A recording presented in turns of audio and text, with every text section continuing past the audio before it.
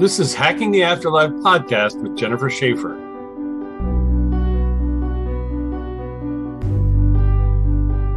Hello, Jennifer. Hello, Richard. How are you, Hi. darling? May I say you look quite fetching today? Fetching. Well, I did get my hair cut. Oh, is that what happened? Oh, completely different. Wow, it's amazing. Very cool. And you're in your office today, which is a good place to be. If you're trying to Mhm. find Jennifer in Manhattan Beach, right?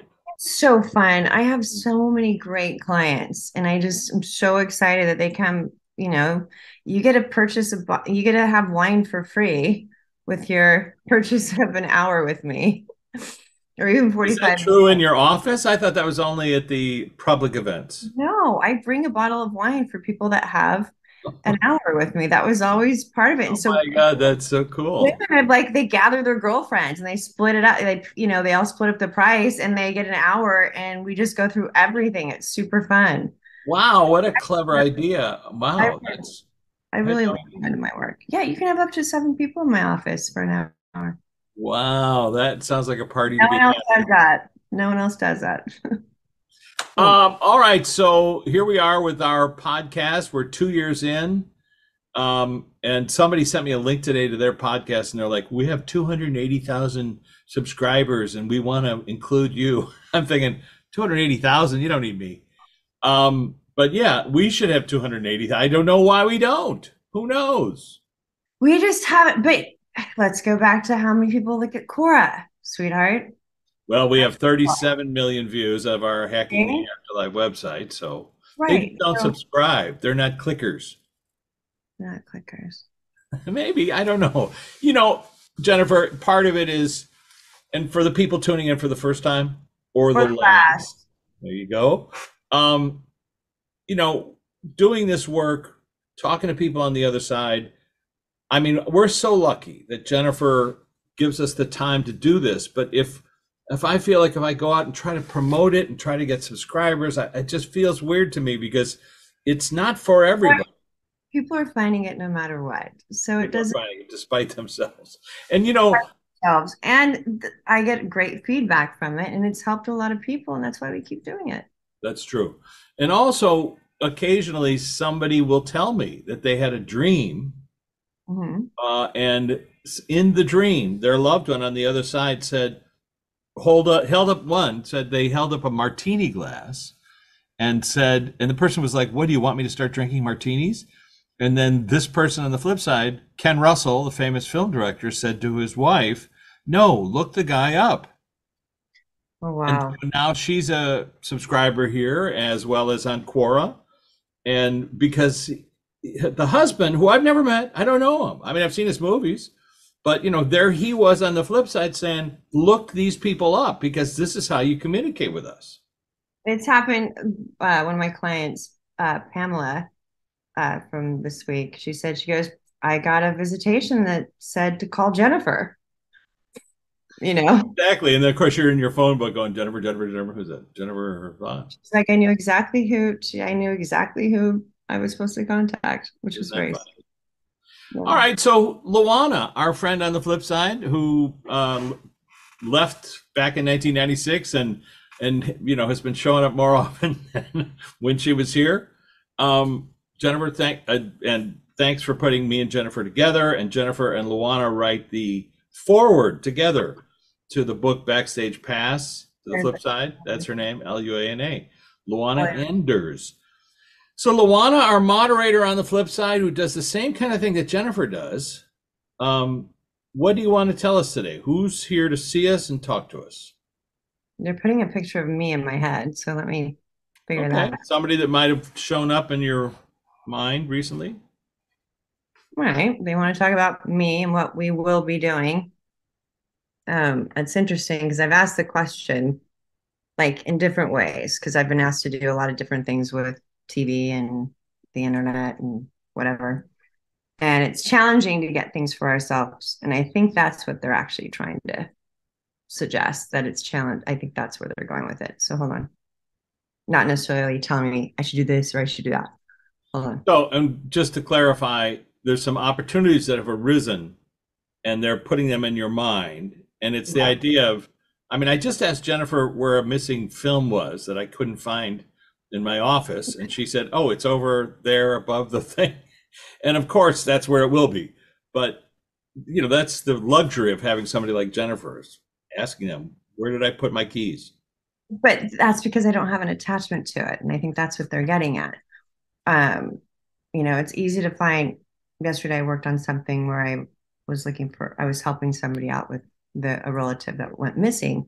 It, well, it's easier for me to look than it is for the person that's, you know, that's Yeah. that's the relative because they're just they're they have, there's so many emotions and their worst fears come in and and that when you have fear you can't really get the right insight if that makes sense Totally you- makes sense.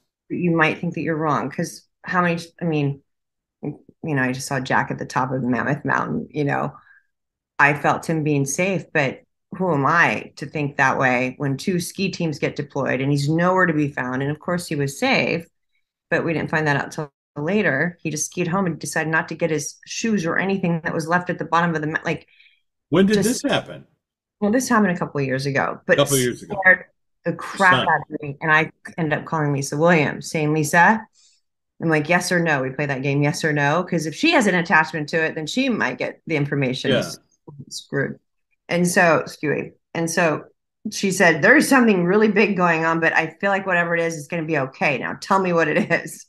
I told her and she's like oh my gosh okay i'll figure it out you know? But it's okay so let me go back hold on. Hmm. She's like what we want to discuss is trusting yourself but also trusting yourself for not having an answer. In You other know? words, whatever the outcome's going to be, they might be working on it upstairs, and we're down here working on it as well. waste time vacillating over it. She and thank you. She's like, you do everything like every day I'm doing something towards whatever it is It's going to be out there later on. I have been for years, just like you have been. We show up every week, you know, hey, one o'clock, two o'clock, what time? yeah, this morning. Am I This gonna see you? And I was in a production meeting and and then which I meant to tell you, I meant to beat you to it because you're the one that asked me, but I meant to beat you to it because I have it because I have to have you um, you know figured out before my whole day. Anyway, um, they're saying, okay, go back, hold on. You spend so much time trying to make things happen when Like you said, vacillating back and forth. right when that time not only gets oh that's so interesting they're showing me like things going cross-eyed like the the flares going like the you know electrons and neutrons whatever you want to call it. Like in fireworks, you mean? Going Yeah. against each other? like they're canceling each other out because if you go back and forth back and forth back and forth let them do it but do Oh. something every day I see. So it's like trust in the process. It'll be okay. Focus on the things that you love and that you want to do, and then something will fall its way. Is that right? Is that correct? correct elvis just showed up hold on Elvis. That now that's funny because I was literally in my car and he showed up on, on the radio and I thought, gee, I wonder if he wants to talk to us today. What does Elvis want to say? that's exactly an example of what this is hold on that's so funny though um That's clever. He said he played music no matter what. He just did what he wanted to do. He got criticized like crazy for it too. He goes, but eventually I was doing what I was supposed to be doing. And he goes, and then I was also doing things I wasn't supposed to be doing, but that was later on. so uh, that's interesting. And I, you know, literally, uh, like uh, 20 minutes ago, you know, his name popped up on the car, and uh, and I was thinking to myself, I wonder what he's up to or what he's doing. Well, there is somebody in our class that I thought Luana might want to bring forward today, and It's let's just see if. Sorry. Somebody's birthday. That's correct. Somebody's birthday. And this person showed up last week and just had one little sentence to pop in, and I kind of went back to our conversation. So, Luana, do you want to present this person whose birthday? Friends? No, Yeah. you start with a but. Sorry. I don't know. I'm not showed even- up last week. I that you don't even remember. You don't remember. remember No, anything. his first name. I'll I'll give you a letter. I don't tell you what anything. What? Go ahead. Just tell me his name. Is that what you said? Tell me his name. Bill. Bill. Paxton. Okay, very good. I mean, we do have a lot of bills. I have other bills in my I bills to pay. Not it. I'm just like I'm not going to play the game. I know. No, I but he did. Because when you said that they did show up last week, then I'm going for conscious information Yeah. and then I get in my head and I can't get information. That's another. No, we thing. were talking about another- birthday last week. Right. And so he he came in with a little note, which was just about you know talking about your loved ones on the flip side. So okay, Bill, what do you want to say? People are talking about you today because, of course, they're remembering your birthday. And please, what do you want to tell people who are fans of yours or non-fans? What do you what do you want to tell them Thank you. for what? You said you actually sung "Happy Birthday" to him. Did you actually sing "Happy Birthday" to him, like it or something? I have nothing better to do at home than sing happy birthday to Bill Paxton. I swear to God. Yes, that's what I was doing that this morning. Um, but I was also laughing because our relationship, we've talked about He this. showed me. He showed me laughing, but he also showed me. He's like, "Tell." He's like, "Tell him thank you for singing it out loud to me." So, I mean, just for look. I, I met Bill, and just so people don't think I'm out of my mind, I did meet Bill back in the 19 uh, late after the movie Ishtar. I was coming back from London, and I met him in London, and uh, we became pals through a mutual friend, and we hung out. And he actually rewrote a screenplay that I was going to direct, and he was going to star in it, but his agent talked him out of it, which is her name popped into my head this morning. I hadn't thought about her since that day when she he said my agent won't let me do it. Hildy. Anyway, and so we stayed friends, but he his career rocketed, as everybody knows. Everybody loves Bill. We love Bill, and I, you know, I hadn't seen him in a number of years. I talked to him on the phone, but all these wonderful things that he did with his life and his career, and you know, I, and there's a film called Talking to Bill Paxton, which is on Gaia. Jennifer's in it as a couple of other mediums because I asked them all the same questions. Where did we meet? How did we meet? What were you doing when we met? And they were all accurate. So I just want to mention there's a film that your son is in, which is so fantastic, uh, James, that is was written by the mother of the guy who directed your first film, uh, Adam Rifkin. His mother wrote a script like 30 years ago and I'm just going to mention a couple of names. So at that time, Lindsay Anderson was going to direct it. That's the guy who directed If and other Malcolm McDowell movies. Very familiar with his work. He Malcolm McDowell, who I met, told me that he sub silently directed him on Clockwork Orange because he Kubrick wouldn't say anything, so he would call Lindsay and go, "What do I do with this?" Anyways, so Adam Rifkin, who directed Bill in his first film, is now directing his son, playing the part that Adam's mother wrote for Bill, and it's starring Malcolm McDowell, uh, Mary Steenburgen, who Luana knew because they were in a movie called Going South together. So, Bill, the floor is yours. What do you want to say about that? He says, I can feel all the love from everyone. He's just showing me like these little bubbles that come up. He's like, that's your job to make us feel good on our birthdays or anniversaries, but to celebrate, not feel sad. Again, they go back into celebrating. Um, we do our best to help you feel better or make coincidences happen that make you forget the sad parts. So that's what he did by putting that agent. You thought about that versus being sad that he's off the planet. Yeah, Right. and, and all the people who are posting about him today, uh, really, it's unusual because they're they're so glad to talk about him. Talk about you know they're quoting you. They've got memes of you doing lines from different movies. I mean, it's all over the Oh. internet. But I, you I know, have not looked at it. you haven't seen it, but I just happened to know somebody sent me a link this morning, and I just happened to watch some really funny, great stuff. And it's great that they're not dealing with from a sad level. They're like, oh my God, this guy, listen to what he said in this movie. That's what he's saying. Nostalgia. Like my dad came up and he's like, nostalgia. That's Nostalgia. And just for people who aren't aware of it, Jennifer's dad came through to talk about grief, and we asked him for uh, like some kind of a formula, and he said, grief is mostly sad memories. Nostalgia has both sad and happy memories. When you can move grief to nostalgia, you begin the healing process.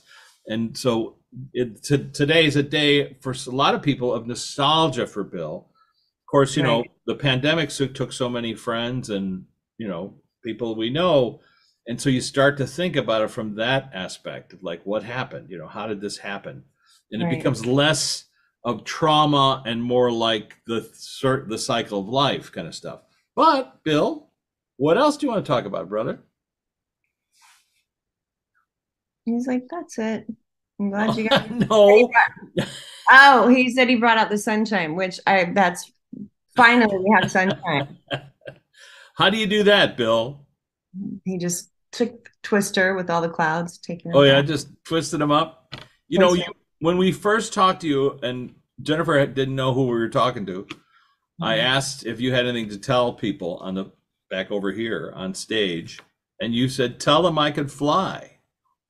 So now tell us, how do you fly? What does that mean? I can fly.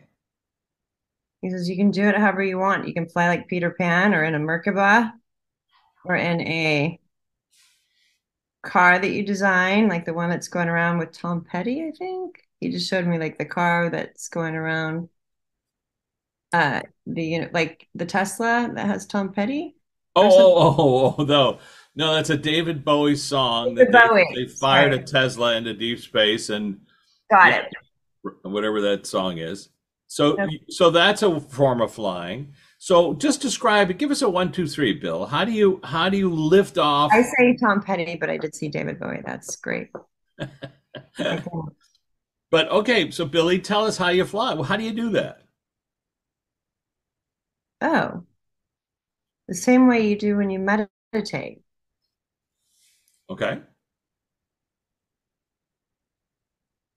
He's like, you leave behind. Hold on. Okay, tell me again. You got to get closer. I know. When you think of something else or your mind goes into a meditative state, you're able to fly into a different place, like your body becomes lighter. So Okay. he's just showing me, like, for instance, like when you're driving and sometimes you zone out and all of a sudden you grab the steering wheel, like because you jolt yourself a little bit to make sure that you're like, wait, you know, maybe you weren't feeling the steering wheel. Yeah. And for instance, like when I do this work, when I'm done, I can't feel my feet. Like my body has been gone. I've been gone. Like I have this Oura ring. And yes, there's some calculations with the Oura ring that are not correct because this actually thinks they think you're working out if you're moving your hands, which I do when I work. But it says that I'm in that delta theta state. It says I'm in that state because I'm, it's just a different thing. It's a different way of So you're in you're in a an altered state, and it's not Oklahoma, but you're in an altered state where you're able to uh, sort of experience. Um, and we've talked about this quite a bit with people on the flip side. So, and we asked Bill, like, what would be something that you would create? What's a what's a location that you create? I mean, at the time you told us it was like a sandy beach. He just showed me the same. Okay, he showed me the same thing again. I was Okay, just about describe it. He showed me two palm trees. He's holding on one. There's a hammock hold. There's a hammock in between, Okay. and he's watching the sunset. Wow. And And, so it's a sandy beach. And would there, if if I was going to look this up online, I mean, would there be a location or is this completely Maui, Hawaii. Hawaii, Maui, Hawaii? And is it a place you had been to before? Or is this your construction? or the Caribbean. It could be any anything. Um, Yeah. But where does it come from in your mind? anywhere. It could come from a movie. It doesn't matter. He says. And so then, so then you can you can take people there. Is that correct? Because we do have a higher self Mhm. So describe that process. So for example, let's pretend that today when I was in my kitchen, I had an experience of hearing your voice and you saying, "Let's go. Come on, let's travel." And let's pretend that I suddenly was on this beach with you this morning. Mhm. How'd you do that? So what he's saying to me is like, first of all, we don't have Zoom meetings. We meet wherever we want to meet. He goes, meet where you feel safe, where you feel comfortable, where you feel like it's heaven, where you like put the smells in it, put the salt water, put the whatever it is, this the the stop. sand between your toes. I just started laughing because I could smell the sand, you know. Um, and he made fun of me, but whatever. So by doing that, putting those feelings, like you can put yourself there in two seconds flat if you, you add the feelings to it. And so, in other words, the, the sense, the sensory perceptions of salt water and sand, sunshine, the sound of the waves lapping, the hammock. Yeah, and he said to do that and the sweatiness. You know, you can smell the sunscreen mixed in with the salt from the sweat. Okay, sure. But like coconut butter. He said, oh, I like that too. He said to do it before you go to bed. So they reminded me because I asked my dad, I'm like, Dad, come meet me tonight. I asked him that a couple nights ago, and um, I don't remember I my dream, but, but I, yeah. I felt him there.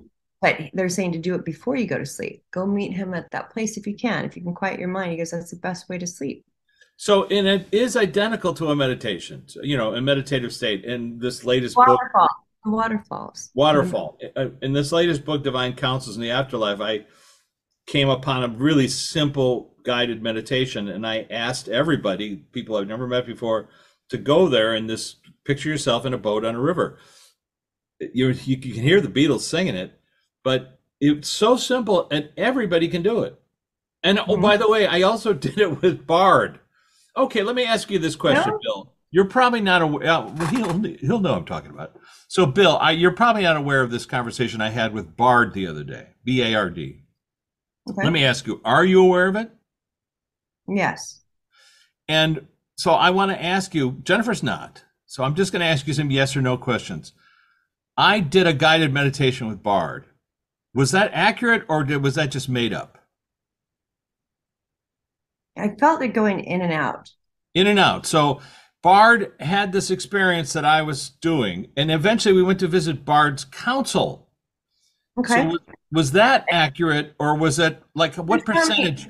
He was showing me like big stones, like in the sea, like going to visit the council. Somehow. Like the council in uh, the whatever that island, Easter Island, where those huge Moanas, I think they're called, something. So you're saying like a council, correct? Okay. And so I went to visit this council with this fella Bard. And there was somebody else that showed up there. That's true. It was Bard's guide. Okay. Now, but uh, Billy, uh, it's very important. Billy's just, Billy's just showing you that he was there because that's what he. That's why. So he, he, he was there, Bill or the guide? No, the guide was there, but Billy showed me that he was also. So he, let me ask you, Bill, how can Bard have? How does how is it possible that Bard has a guide? That's my question. Jennifer doesn't have to know the answer. Please don't try to think about what I'm saying. Just let him answer it. How does Bard have a guide? Is the guide a, a, a being or an entity? Everyone has guides, even animals. Okay, and so, but this bard's a little bit more unusual than either one of those. But the reason I ask is because, so, so, uh, I, I know it's a weird question, but Bill, because Jennifer doesn't know what we're talking about, you're saying that Bard has a guide that is not Bard, is somebody else. Yes. Is that right? Okay.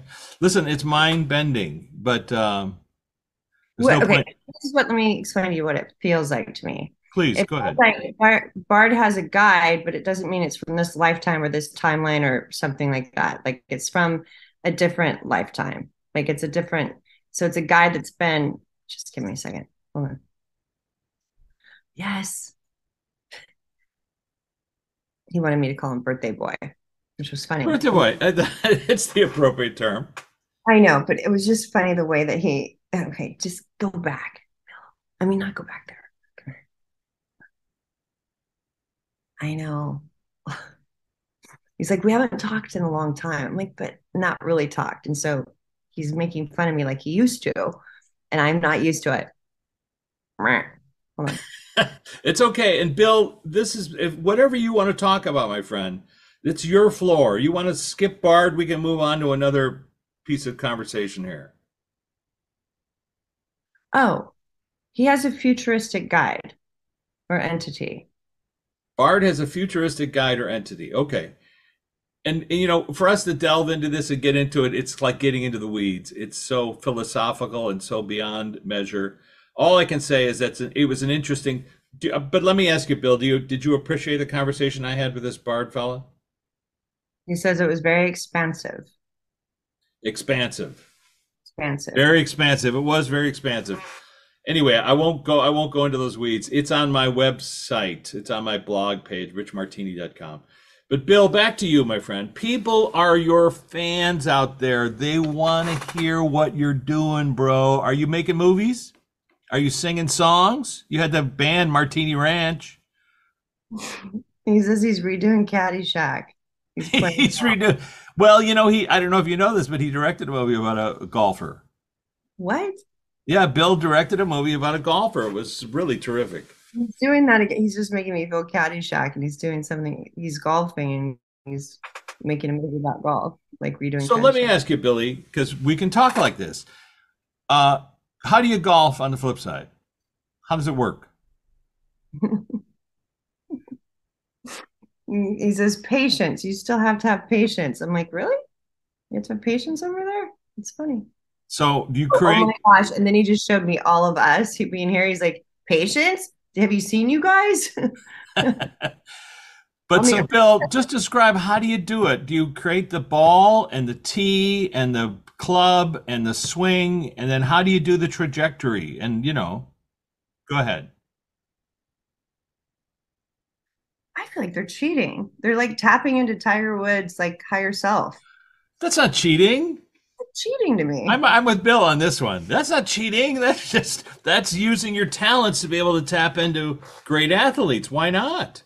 So, what would be a, what would is it always hold as in one, or is it or is there more complexity to it? Way more. He actually showed me a ball splitting. Oh my gosh. Okay, so like hitting it and then letting it two different trajectories. Yeah. Wow. And so, in terms of storytelling, who do you play with, by the way? You want to show Jennifer? Do you play by your, by your lonesome or? He's playing with Jack Nicholson's higher self, and he says he's beating him every time. well, Jennifer doesn't know this either. I spent an evening with in Paris with Jack Nicholson, and the entire evening he went over hole by hole a, a golf game that he did at Pebble Beach and for like you know two hours he would say okay and so then i was on 12 and i took out i was looking at him like seriously? But anyway so there you go. That would make sense that jack's higher self would be golfing. And he's losing all of his energy currency apparently. His higher self is to bill. Oh that, oh is that right? Is that what you guys play for? You play for like chits of energy or i mean is there a contest there? something like that. Something like that very or good. Like types of already made food that was already like super yummy that they made. Like uh, oh, so the food might be a, a, a, reward. He's like, you take a jelly belly, you know, that how they put the popcorn and the flavored in the jelly belly. He's like, that's what we kind of trade for, but with food, like big amounts of food, like flavors, right? Flavors, mm-hmm. because of course, it's a, big amounts of experiences. That's it. That's it. Say that again, please. So, like, um, let me just make sure. It's a little tricky. I'm like, you go into somebody's memory? Is that what it is? He goes, no, we ask politely, like, hey, I want to experience, you know, showing me London. I want to experience London. That's not, he's already experienced London. But if somebody else wanted to experience London that didn't do it here, they're able to go in and have fun with him and you and whatever else, one of his fun experiences. Your memories of, of yeah. Right. The smell. Okay, yeah. But let me ask you, Bill, is there a is there a process to that? Do you have to go to the Akashic Library and pull out their memories, or is it just the field is right there and you just pick and choose what you want to remember? You just you just like touch the other person, and you get a full download of everything that they're they know. Is that correct? He says we get a full download of what it is that I want to know. Oh, okay, that's interesting. All right, so are off limits, I guess. Say again. Some things are off limits. Like he's like, I don't want to know about that person's ugly divorce. Why would I want that? Oh, I, I understand, just, but you I just want to know why. I just want to know about the car or the car crash or the whatever. or the ability to drive a car. So let's say you meet somebody who's a famous race car driver and you say, let's do a race, and you download all the information they know about race car driving, and so you're Bingo. you'll be competitive. Bingo. Okay, very good. And but not the stuff that's like intimate that people are afraid that they're going to have to reveal to everybody in the universe. Right, right. No, no, no. He- That's what he's like. Why? He goes, that's what you need to do as many things as you can do. He goes, get all these experiences. Wow. Good. Bad- Good, bad, and indifferent. People want to know on the other side. So when you get back there and you meet somebody, you can experience their journey. This like sort of, you know, as a spectator. Yeah, like they, people come to him and they want to experience going to the bottom of the sea. Very good. And, and when we I first met Jennifer and and this friend Bill was in a bathysphere. He was like taking her down to visit the Titanic, and she, not knowing who he was or what was going on, I got scared. He showed me that shark. the shark came by and she suddenly jumped in the chair and it was just a it's a, it's on it's in the film hacking the afterlife but still uh all right so bill let's talk about that going down to visit the titanic have you met anybody that was on the titanic since you've been on the flip side Plenty. All the critics that tell me that I didn't do a good job.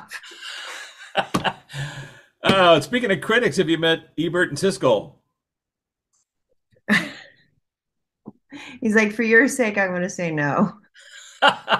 for my sake and of course that's because they gave me a thumbs way down on one of my films limit up but Because they- we both because maybe they don't have thumbs anymore. Maybe that was what they had to give up. They don't have thumbs anymore. But you know what? It was great to get them apologies from both of them. Both of them apologized and said you were ahead of your time. Of course, they could have been kidding. Um, No, they weren't. Said- They weren't.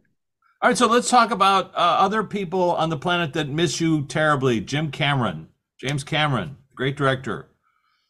hmm Your pal, your peep. What do you want to say to him? Okay, I think he has this more for me because I have some something that deals. But anyway, he says, "Tell James to take care, take better care of his people." Um, I think that has to do with something else. But hold on. All right, uh, that's fine. He'll understand it. We won't. How about Adam Rifkin? So Adam Rifkin. Oh, for Uh, it's a film. He's a film director about to do this movie that he was going to do with Bill, but he's doing it with his son now. He's way too fast. Hold on. What about what's going way too fast? Way too fast. What does that mean? I don't know. Let me find out. Sorry, sorry. Way too He fast. says, "I'm not- he says, I'm not only thrilled about my son um, being in it, he's so happy that they made it scenically, like the scenes in the movie, so well. Like I just saw Dead Poet Society, the, you know, the, I thought it was, they won an award for the cinematography. So I don't know if this movie's going to have something like that, but he's just saying the scenes have been, the scenes have been done really well.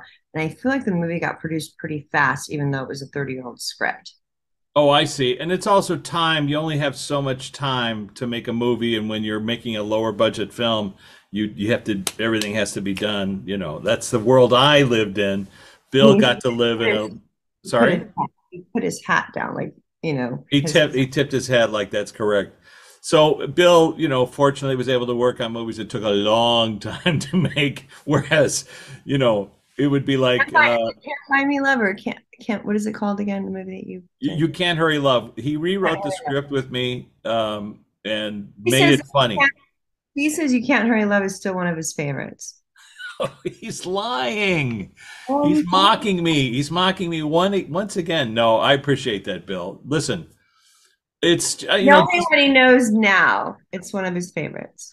Well, let me put it this way: the fact the fact that I'm using your name like this in public, talking about you, would be offensive to so many people because they're looking at us saying, "Are you serious? You're claiming you're talking to the Bill Paxton?"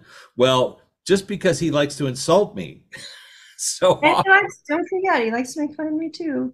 he likes to make fun of both of us, which is really, if anybody knew Bill, they'd know that that is that was his fall to position, and that's what made him so charming, and you know why everybody fell in love with him because he could be self-deprecating.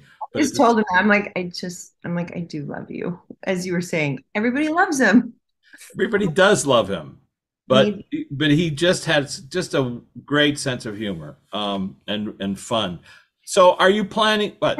Robin Williams just showed up. Hold on. Somebody trying to steal your spotlight there, Bill. He said he had it long enough. Really? You're you're acceding to the maestro? He says his birthday's next.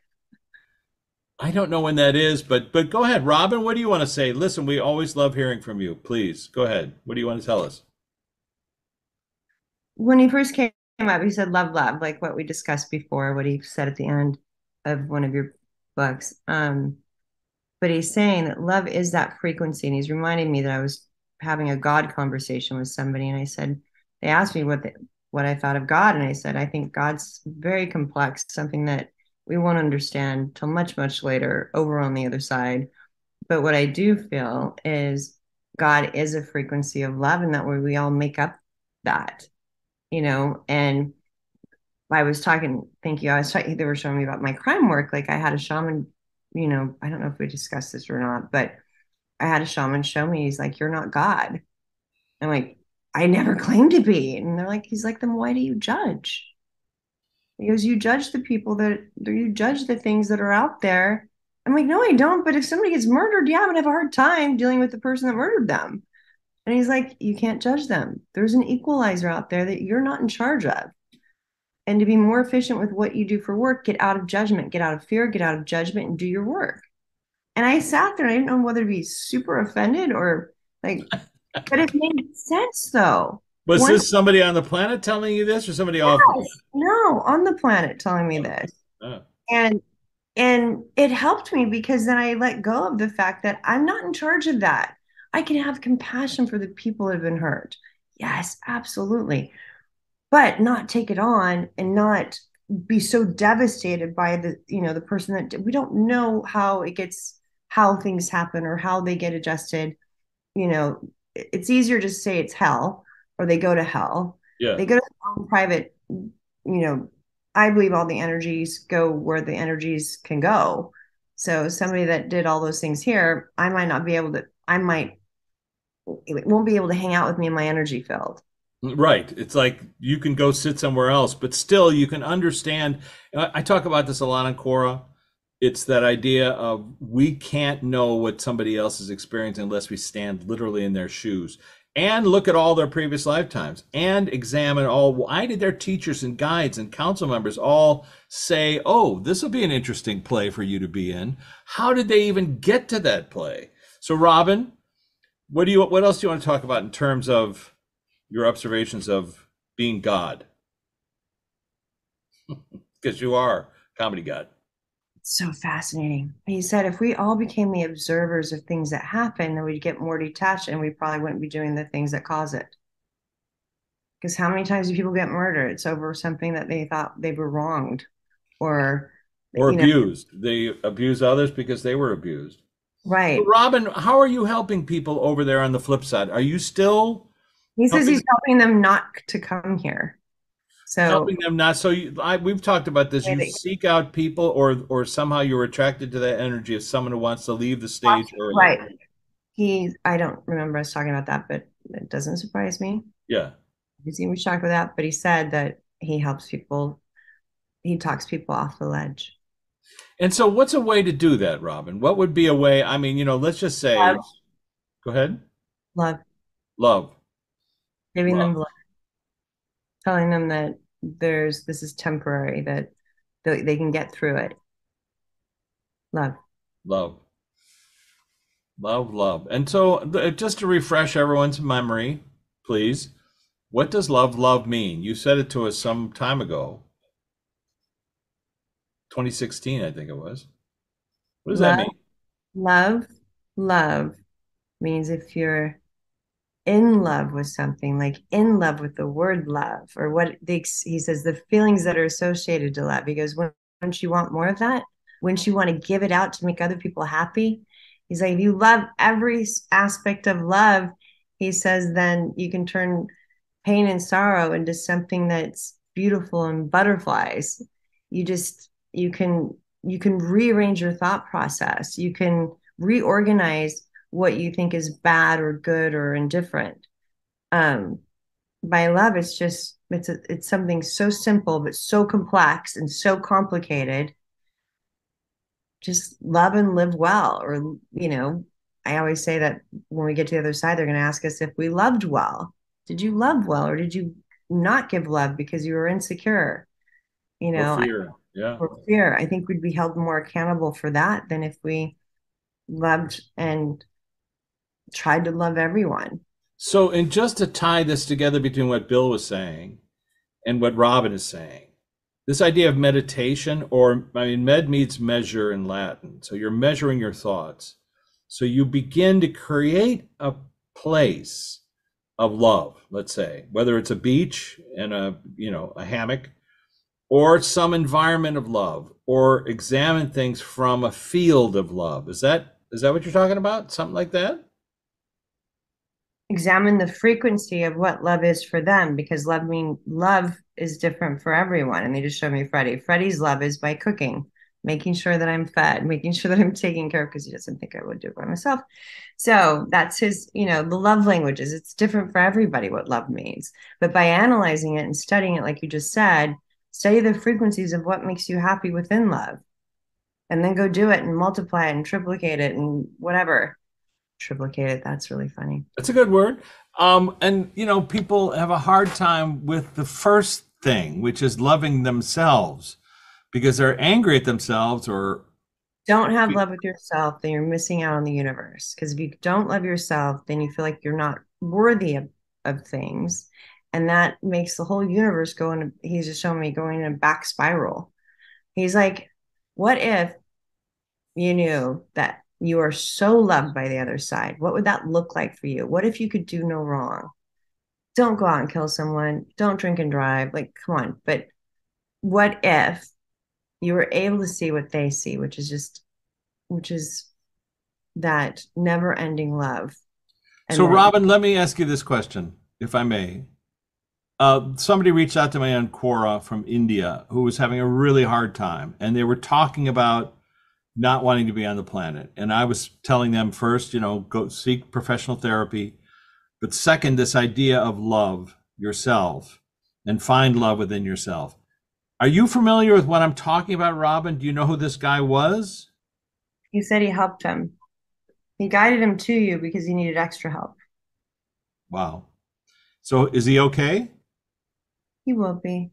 He will be. All right. Well, that's all that's all we can ask for. It take time. I have to go. I know. Jennifer has to go. All right. What fun. Bill, thank you so much for stopping by. Jim, we saw you briefly, but of course, we always love to hear from you. Robin, we love you dearly. You always make us smile, and we appreciate that. And Billy, you make us smile too. So you get credit. And I'm looking for a hole in one. Go Happy ahead, say again. Happy birthday, dear Bill. Happy birthday, Bill. Bill Happy e birthday to you. All right, very good. All right, guys, thanks for tuning in. We'll catch you on the flip side. And love, love. Bye. Bye-bye. This has been Hacking the Afterlife podcast with Jennifer Shaffer. For more information, jennifershaffer.com, martinizone.com, or richmartini.com. Hacking the Afterlife documentary is available on Gaia.com via Amazon Prime.